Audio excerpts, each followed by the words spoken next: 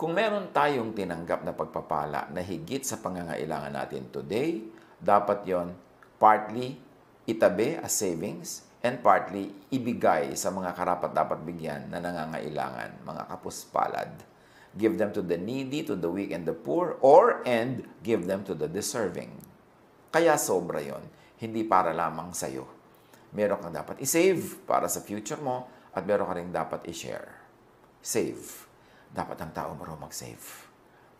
Lagi nga nating sinasabi, kung kaya, mag-save ng mag-save, yung computein mo kung magkano ang kailangan mong gastos para mabuhay. Halimbawa, hindi ka bigla nakapagtrabaho ng anim na buwan, isang taon, dalawang taon, for whatever reason. Tulad ng nangyari, nagkaroon ng lockdown, nagkaroon ng quarantine. So, may mga taong nawala ng mga opportunity to work. Kung nung panahon na sila ay kumikita ng sobra